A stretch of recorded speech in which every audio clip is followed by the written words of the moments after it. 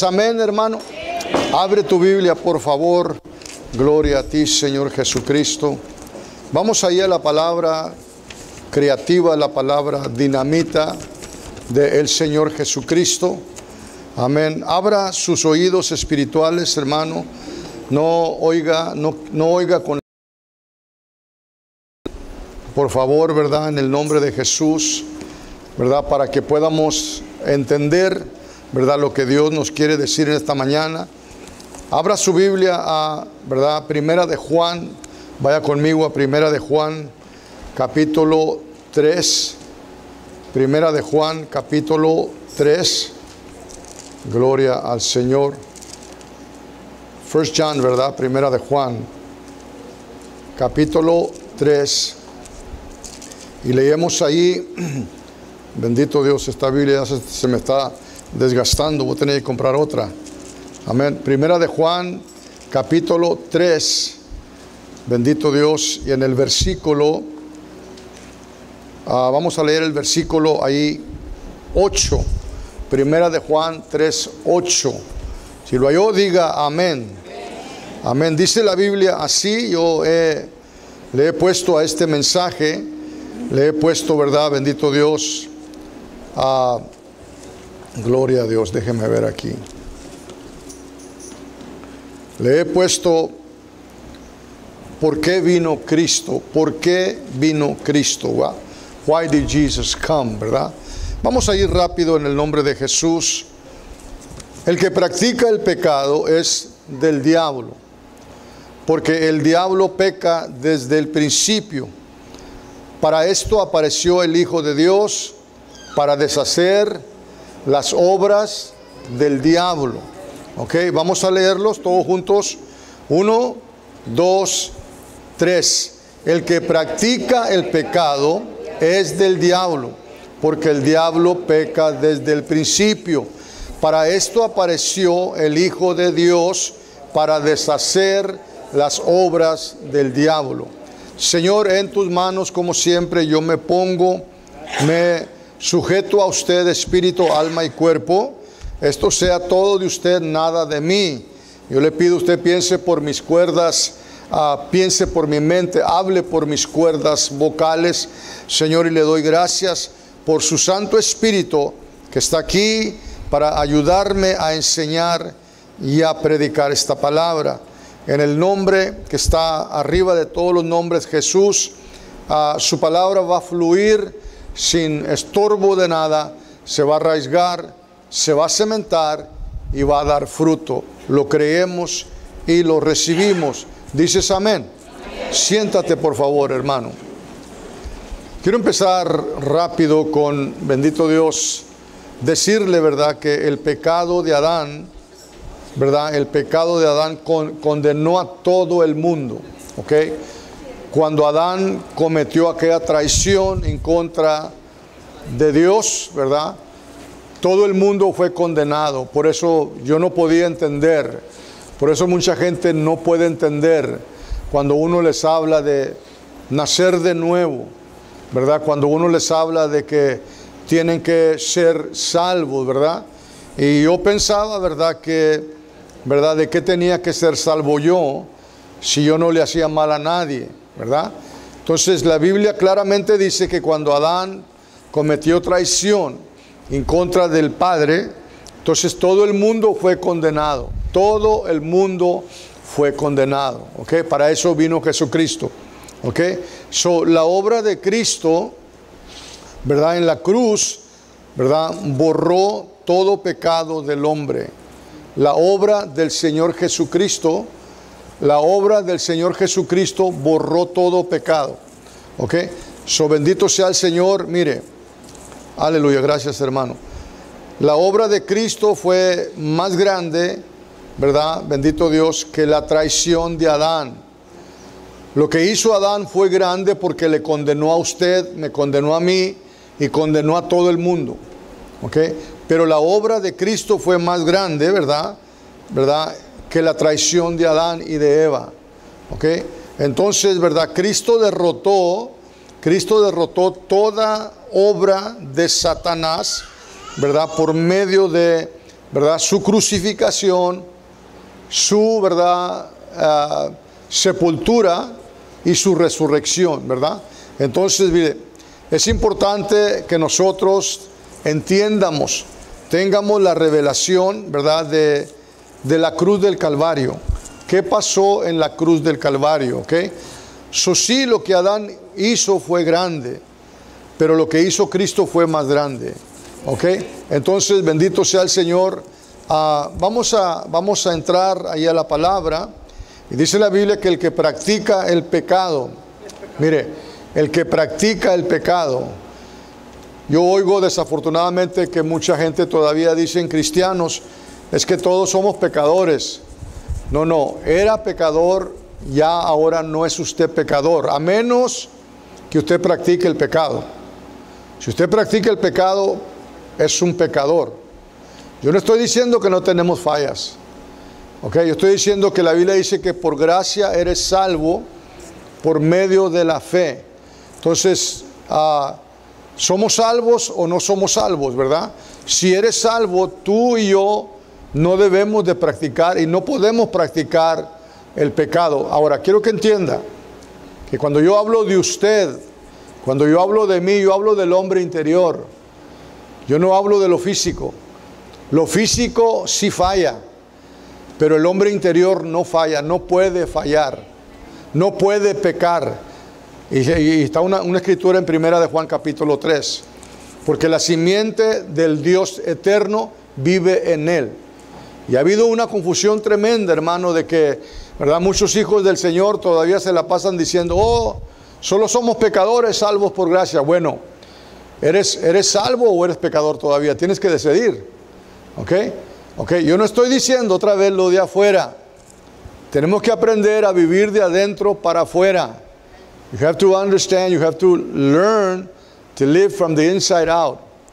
Okay, mucha gente cuando mira a los cristianos, ¿verdad? Porque le fallaron acá o le fallaron allá, ya entonces ya se confunden. Pero dice que el que practica el pecado, yo no practico el pecado, hermano. Eh, una persona que practica el pecado es un pecador. ¿Ok? Yo practicaba el pecado antes. Cuando yo no conocía al Señor, yo lo practicaba. ¿Verdad? Yo hacía cosas y, ¿verdad? Las platicaba y me, reía y volvía otra vez viernes, sábado, domingo y a practicar las, mismas cosas. Yo era un pecador. Pero cuando Cristo vino a mi vida, ¿verdad? Y lo vamos a ver, ¿verdad? Cristo vino a mi vida, Él, él me hizo una nueva criatura adentro, adentro, no por fuera. Cuando usted nació de nuevo, su cuerpo no nació de nuevo. Su mente no nació de nuevo. Su hombre interior. Y hay que aprender a vivir de adentro para afuera. Entonces, bendito Dios, el que practica el pecado es del diablo. ¿Ok? El que practica el pecado tiene la naturaleza del diablo. Yo tenía la naturaleza del diablo. Pero cuando Cristo viene a mi vida, entró la naturaleza de Dios en mi vida. ¿Ok? Entonces el hombre interior, el hombre ángel de adentro, ese, ese no falla, no puede fallar. El que falla es la carne, sí. ¿Ok? Bien importante que entiendamos lo que sucedió en la cruz del Calvario. La revelación de la cruz. Fuimos a visitar una familia el viernes, ¿verdad? Y este, bendito Dios, hablaba yo con el hombre, ¿verdad? Y le decía yo lo que, lo que sucedió en la cruz del Calvario. ¿Ok? Lo que Cristo hizo en la cruz del Calvario. Cristo no nomás vino, fue crucificado y subió al cielo. No, señor, no, señora. Hubo, mucha, hubo muchas cosas que pasaron entre el medio del trono, ¿verdad? O de la cruz y el trono. Okay, Cristo fue al infierno tres días. Tres días estuvo ahí. Ok, eso hay que entender, ¿verdad? La revelación de, lo, de la cruz del Calvario. Yo le dije una vez que toda revelación, si yo puedo predicar en el tema de la fe, es porque tengo la revelación de la cruz del Calvario. Si yo puedo predicar en el favor de Dios, ¿verdad? Es porque tengo la revelación de la cruz del Calvario. O sea, toda revelación que tú tienes, toda revelación de, caminar en el Espíritu, de, ¿verdad? De, de, bendito Dios, de caminar por fe, todas esas revelaciones vienen por conocer la revelación de la cruz del Calvario. Entonces, mire, vamos rápido, mire, Cristo Cristo no vino, número uno, Cristo no vino a comenzar una nueva religión. ¿Ok? ¿A qué vino Cristo? Cristo no vino a comenzar una nueva religión. ¿Ok? No estoy hablando de nada, ninguna religión, pero Cristo no vino a eso. ¿Ok? Porque estamos en esto de que ¿a qué vino Cristo? Why did Jesus come? ¿Ok? So Cristo no vino a, número uno, a comenzar una nueva religión. Número dos, Cristo no vino a establecer nuevas reglas para que el mundo siguiera. ¿Ok? Cristo no vino a empezar una nueva religión. Cristo no vino a, ¿verdad?, establecer nuevas reglas para que el mundo las siguiera. O sea, haz esto, haz lo otro. ¿Ok? Número tres, Cristo no vino tampoco a comenzar una iglesia nueva. Yo cuando hablo de iglesia hablo de las cuatro paderes. Sí, nosotros somos la iglesia de Dios. Pero acuérdese que Dios no habita en cuatro paderes. Dios habita en nosotros. So Cristo no vino a establecer iglesias así como estas. ¿Ok? Cristo no vino a comenzar una nueva religión, ¿verdad? Cristo no vino, ¿verdad?, a comenzar a hacer reglas nuevas. Y mucho menos Cristo no vino a comenzar una iglesia nueva, ¿verdad? Un templo nuevo. ¿Ok? Mire, aleluya. La Biblia dice que Cristo vino por varias razones. ¿Ok? Varias razones, ¿verdad? Y usted lo sabe y yo lo sé. Pero quiero enfatizar en una razón. ¿Ok? La Biblia dice que Cristo vino por varias razones. Jesus came for various reasons. ¿Ok? Déjeme enseñarle. Número uno, Cristo vino a buscar, lo sabemos, a buscar y a salvar el perdido. Y ese era yo y ese era usted. ¿Ok? All Entonces, yo andaba perdido, ¿verdad? Ah, bendito Dios. Yo encontré al Señor. Amén. Cristo vino a buscar y a salvar lo que se había perdido. La Biblia dice que por cuanto todos han pecado y están destituidos de la gloria del Señor, so Cristo vino a buscar y a salvar, ¿verdad?, al perdido. ¿Ok? Porque el Hijo del Hombre vino a buscar y a salvar lo que se había perdido. ¿Ok? La Biblia dice en Isaías que todos nos descarriamos como ovejas. Es lo que dice la Biblia. Todo. Ahí no se escapó nadie. Todos nos descarriamos como ovejas, ¿verdad? La Biblia dice que cuando Adán cometió traición, ahí Adán condenó a todo el mundo, ¿ok? Entonces no hay, ¿verdad? Unos sí y otros no.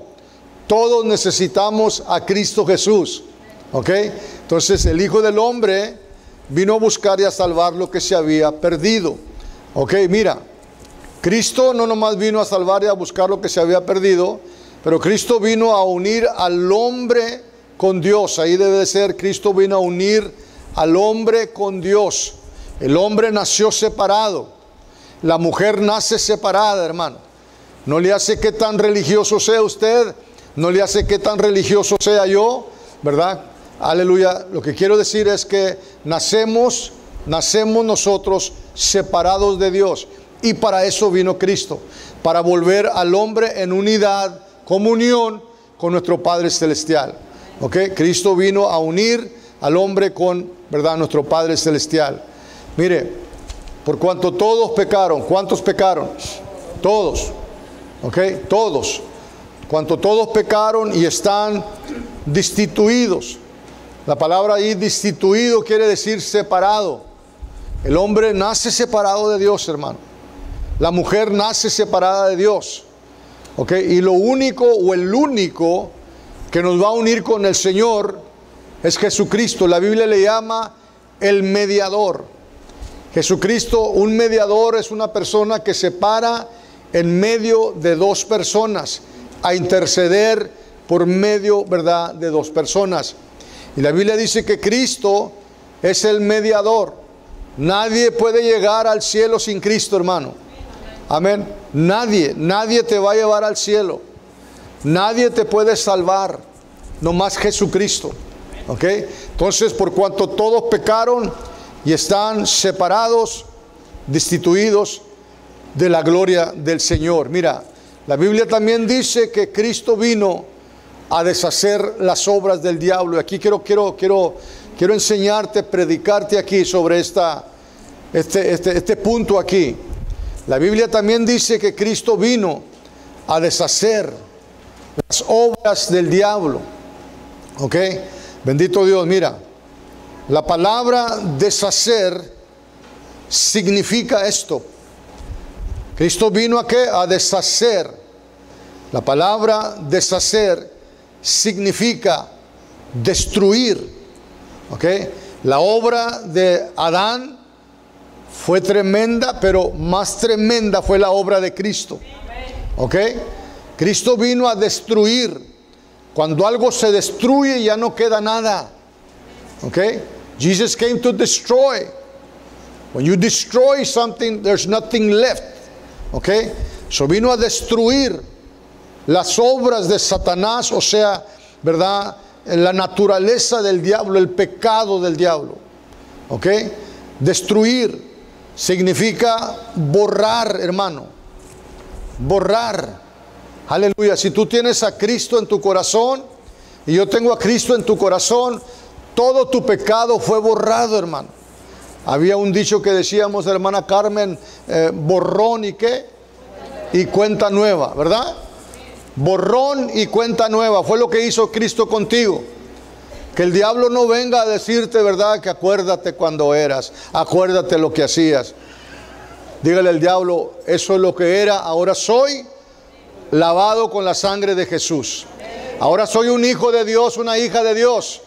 Todo está borrado, mi hermano. Amén. Borrar, deshacer quiere decir destruir. Borrar. ¿Ok? deshacer quiere decir pudrir. Amén. A mí no me gusta, yo, este soy yo, hermano. A mí no me gusta decir, Señor, ¿verdad? Rompe esto, rompe el otro, rompe las cadenas. ¿Sabe por qué? Porque algo que usted rompe lo puede volver a pegar otra vez. A mí me gusta decir pudre. Cuando algo está pudrido, hermano, se lo come. ¿Verdad que no? Uh, apesta feo, ¿verdad? Pero cuando algo está pudrido, hasta si lo toca se, se deshace, ¿verdad? Entonces, bendito Dios, Cristo vino a, a deshacer, ¿verdad? Las obras del diablo. Cristo vino a, bendito sea el Señor, a destruir, ¿verdad? A destruir las obras del enemigo. Gloria a Dios. Y Cristo vino a pudrir.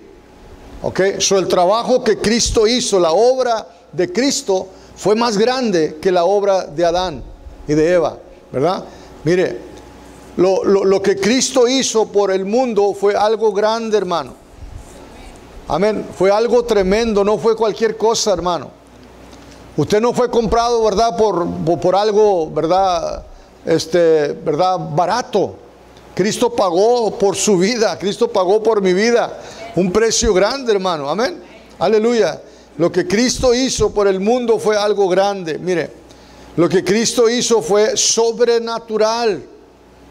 Sobrenatural. El hombre no podía nacer de nuevo. El hombre estaba destinado a ir al infierno. Amén. Lo que Cristo hizo fue sobrenatural y eterno. La Biblia le llama al Señor nuestro Padre Celestial el Dios eterno. Amén. Y si Dios es eterno, usted y yo somos eternos porque nacimos de Dios. Amén. Usted nunca va a morir, yo ya no voy a morir. Acuérdese, estoy hablando de su interior. Esta carne va a morir, pero su hombre interior, su espíritu, nunca va a morir. ¿Sabía usted que los espíritus nunca mueren? Nunca mueren. Amén. Aleluya. Pero también nunca sale de donde están. me acuerdo, ¿verdad? Mi abuelita, ella, ella, yo creo que todos, yo no sé si usted, ¿verdad? Pero mi abuelita, ella, ella ponía un vaso de agua ahí en, en, el, en el ropero ahí. Y decía que para que viniera a tomar agua, ¿verdad? Julano de tal o no sé quién, ¿verdad? Que es de la gente. Y pues uno cuando no sabe se las cree, ¿verdad? Pero, pero la Biblia dice que cuando alguien muere, dice que no podemos salir, de donde vamos a ir no vamos a salir. hasta que venga el Señor Jesucristo. Fue lo que dijo el Señor, ¿verdad? Cuando Lázaro, ¿se acuerda que Lázaro le dijo, Señor, dile a Abraham, dile a Lázaro que se moje el dedo, ¿se acuerda? Dile que vaya y les hable a mis hermanos, ¿se acuerda que le dijo? ¿Qué le dijo el Señor? Ni aunque quiera, porque hay una grande cima, hay una grande, ¿verdad?, eh, separación. O sea, los que llegan al infierno ya no salen de allí. Los que llegan al cielo, ahí están. Una alma no puede andar flotando tomando agua, perdóneme. Amén. Eso no es bíblico. Amén. Entonces, ¿verdad? Lo que Cristo hizo fue sobrenatural y eterno. Sobrenatural y eterno. Cristo no nomás te salvó, pero te hizo una nueva creación. La obra de Cristo fue grande, hermano. Amén. Yo nunca hubiera, ¿verdad? Yo nunca hubiera nacido de nuevo. Mire lo que vive dentro de usted, hermano, hermana. Nunca existió antes. Bible says you're a new creation. Nueva creación, hermano. Nunca existió. El hermano ángel que está dentro nunca existió. ¿Ok? Dios Cristo no nomás te salvó, pero te hizo una nueva creación. A new creation. Mire, Cristo no nomás le dio un overhaul. Cristo no nomás remendó aquí, remendó allá. Cristo lo hizo nuevecito de adentro. Nuevecito, hermano. ¿Y sabe qué? Le traigo buenas nuevas. Cuando venga el Señor Jesucristo por su pueblo, no nomás vamos a ser nuevos de adentro, pero vamos a ser nuevos de afuera también. Aleluya, dele fuerte el aplauso. Ya no va a haber artritis. Amén. Ya no va a haber artritis, ya no va a haber diabetes, ya no va a haber hepatitis y ya no va a haber diablitis. Amén. Bendito Dios. Nuevo hermano. Va a recibir un cuerpo nuevo. Aleluya. Bendito Dios. Transformado. Amén. Aleluya. Gloria a Dios. Cristo no nomás te salvó, pero te hizo una nueva creación. De modo que si alguno está en Cristo, ¿cuántos están en Cristo? Diga yo. Amén. Amén. De modo que si alguno está en Cristo, somos nosotros y todo aquel que ha llegado a tener a Cristo en su corazón, ¿verdad? Nueva criatura, nueva creación es. Las cosas viejas pasaron. Todas son hechas nuevas. Está hablando de su espíritu, hermano. Hemos malentendido ahí, las cosas viejas pasaron.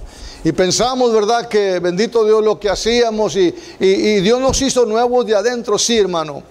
Pero no de afuera. Su cuerpo no volvió a nacer de nuevo. Su mente no volvió a nacer de nuevo. Su espíritu nació de nuevo.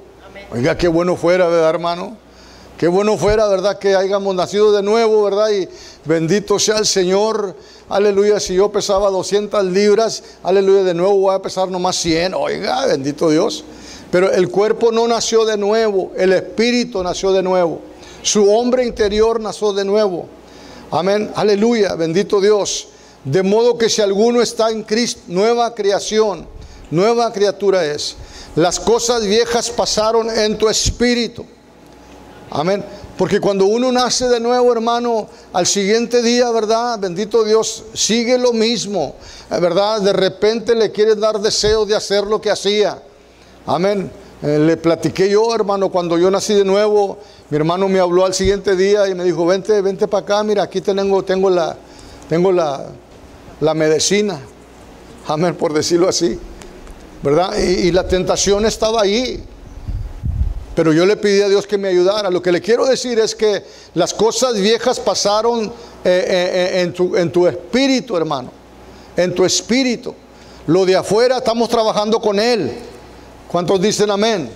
Estamos trabajando, ¿verdad? Con los deseos que tenías antes. Estamos trabajando con el coraje que tenías antes. Estamos trabajando con la carne. Mientras vivamos en este mundo, bendito sea el Señor, vamos a contender con la carne, va a haber problemas con la carne, pero eso no quiere decir que la carne no se puede sujetar al espíritu. Es más fuerte, debe de ser más fuerte el espíritu que la carne. ¿Quién dice amén? Aleluya. La carne nunca debe dominar al cristiano. El espíritu debe dominar a la carne, hermano. Ok, seguimos, mire. Cristo quitó la naturaleza pecaminosa del enemigo y puso la naturaleza de Dios en ti. Mire, Cristo quitó la, la, naturaleza pecaminosa. Todos nacimos bajo el pecado de Adán y Eva. En lo natural todos éramos, ¿verdad? Antes pecadores. Pero Cristo que quitó la, naturaleza pecaminosa. ¿Sabe cuál es la naturaleza del, del diablo, hermano? Es el pecado. Es el pecado. La naturaleza del diablo es el pecado. El pecado separa al hombre. Pero dice la Biblia que Cristo puso la naturaleza de Dios en ti. Mira, todos se desviaron a una ¿verdad? Y se hicieron, dice, hicieron inútiles, todos se desviaron a una, se hicieron inútiles. No hay quien haga lo bueno, no hay ni siquiera uno. ¿Ok? Bueno, déjeme ver. Génesis, y vio la mujer que el árbol era bueno para comer y era agradable a los ojos, árbol codiciable para alcanzar la sabiduría y tomó de su fruto y comió y dio también a su marido, el cual comió así con, como ella. Entonces fueron abiertos, aquí entró la naturaleza del enemigo, la naturaleza del diablo.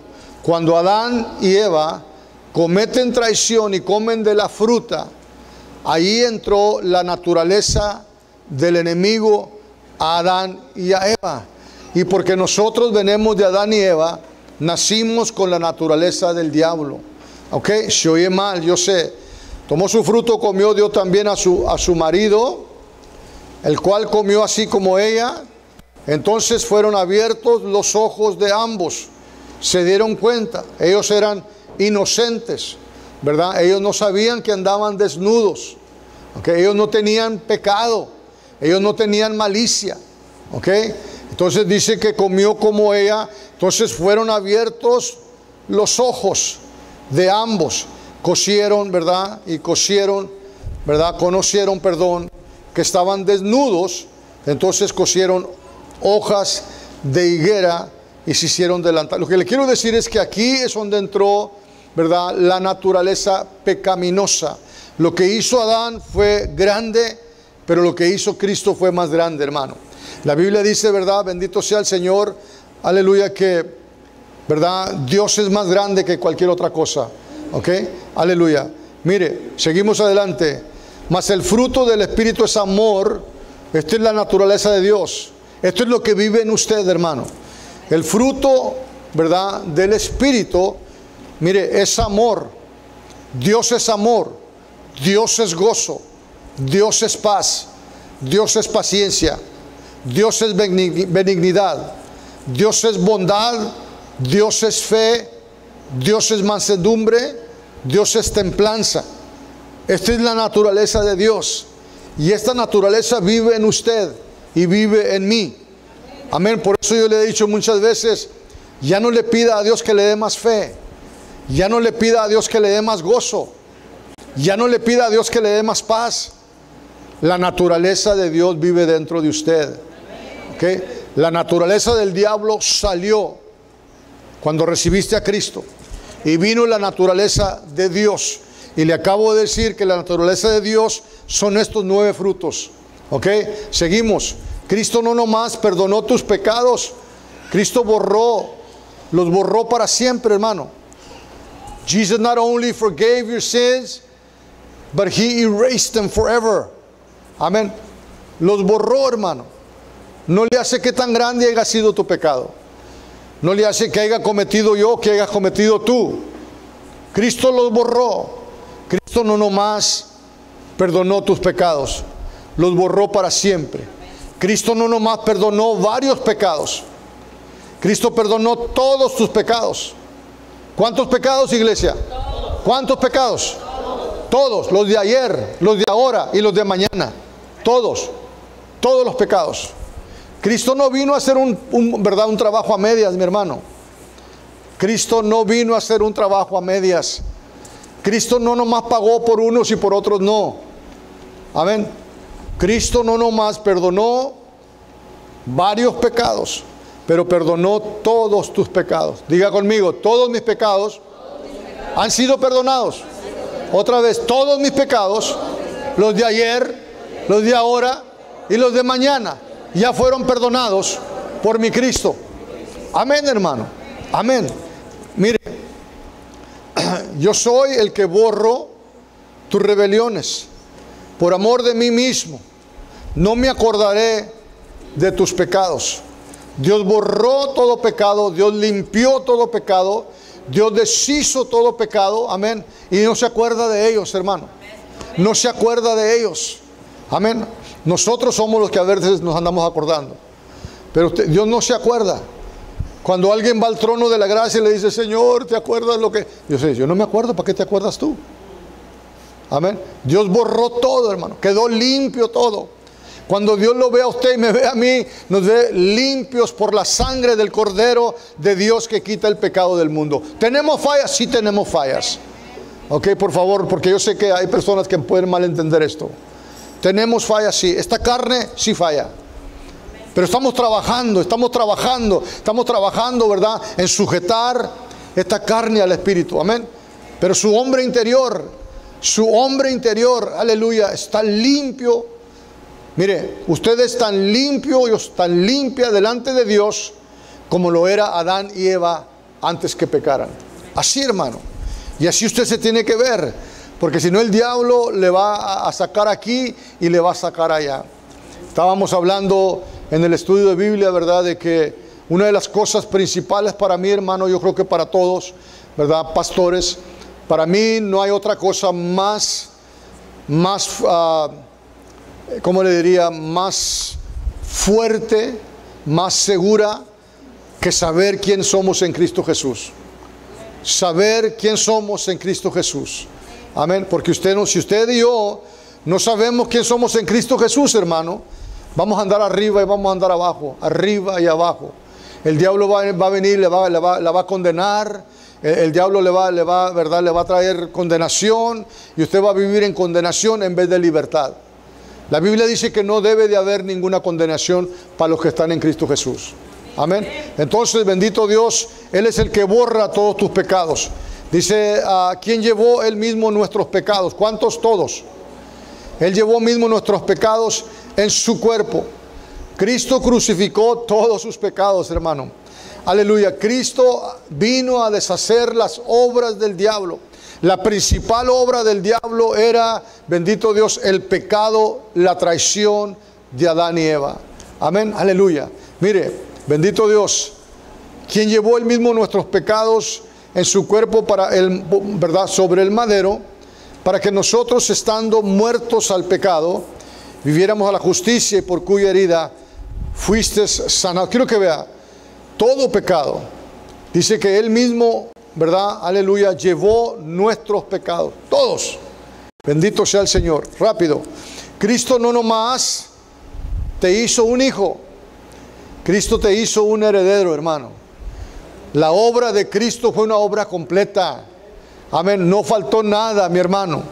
Cristo te dio paz, Cristo te dio gozo, Cristo crucificó tus pecados, bendito sea el Señor, Cristo crucificó, ¿verdad? Todo, todo en la cruz del Calvario. Cristo no nomás te hizo un hijo, amén, te hizo un heredero de todo. Tú eres dueño de todo, hermano. Todo lo que le pertenece a Cristo te pertenece a ti también. Ahora hay que saber y entender, hay que aprender cómo recibir, ¿verdad? Lo que Cristo ya nos dio, ¿verdad? Seguimos. Si hijos somos, ¿verdad? También herederos.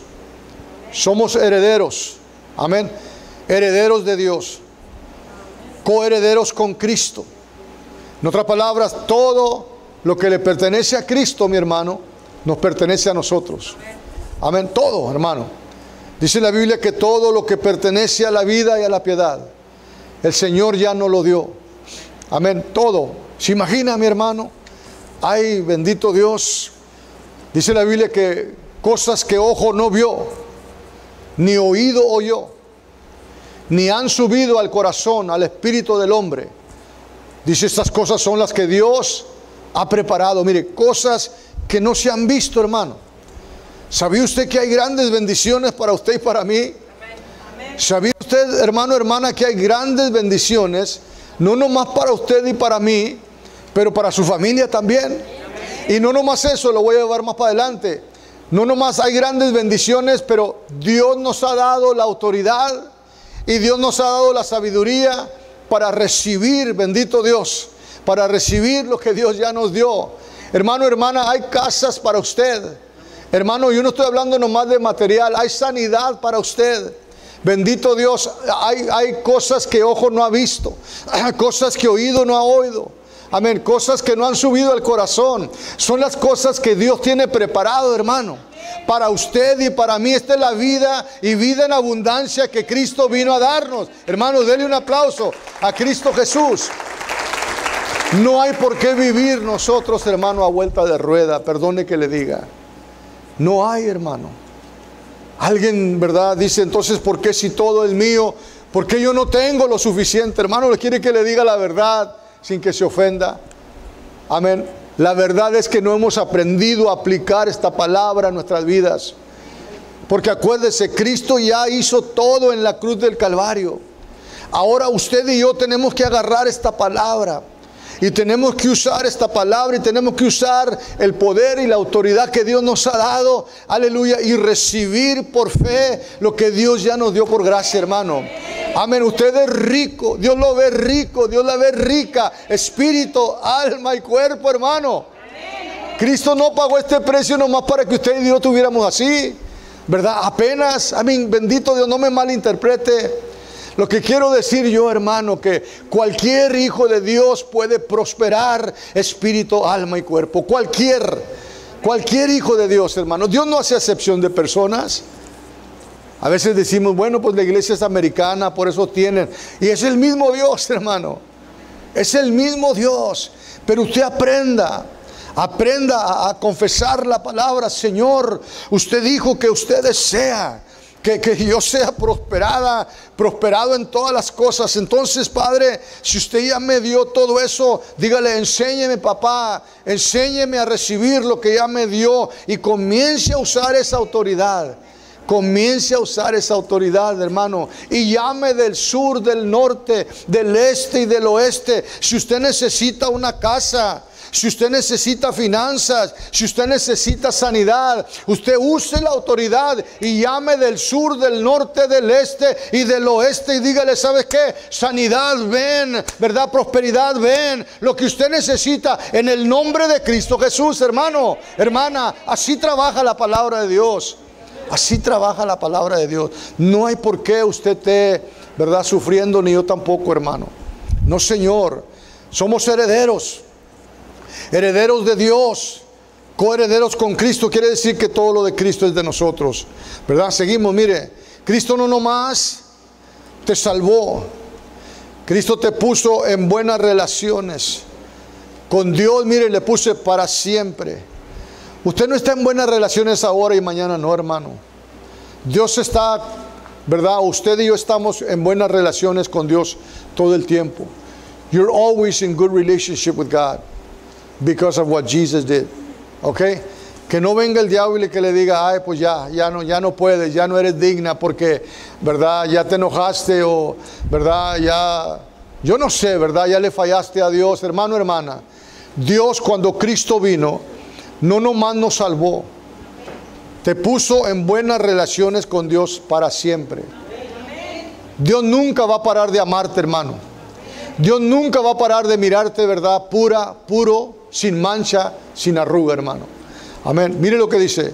Así que al que no conoció pecado, ¿verdad? Al que no conoció pecado, por nosotros lo hizo pecado, para que nosotros fuésemos hechos justicia de Dios en él. Si yo estoy en buenas relaciones con Cristo, hermano, no es porque soy, o con mi Padre Celestial, no es porque soy pastor, hermano. No, Señor. Es porque lo que Cristo hizo en la cruz del Calvario. Amén. Cristo me volvió a unir con mi Padre Celestial. Amén. Entonces, aleluya. Al que no conoció pecado hablando de Cristo. Al que no conoció pecado por nosotros lo hizo pecado para que nosotros fuésemos hechos justicia de Dios en él, ¿verdad? Gloria a Dios. Seguimos rápido. Vamos a, vamos a, vamos a cerrar. Corto, corto el mensaje. Vamos a cerrar. Póngase de pie, por favor. Entonces, la obra, la obra de Cristo fue más grande que la obra de, de Adán, hermano. La Biblia llama a Jesucristo el segundo Adán, ¿verdad? Amén. Adán echó a perder todo, Cristo vino a, Cristo vino a remendar todo, ¿verdad? O sea, Cristo vino a, arreglar todo.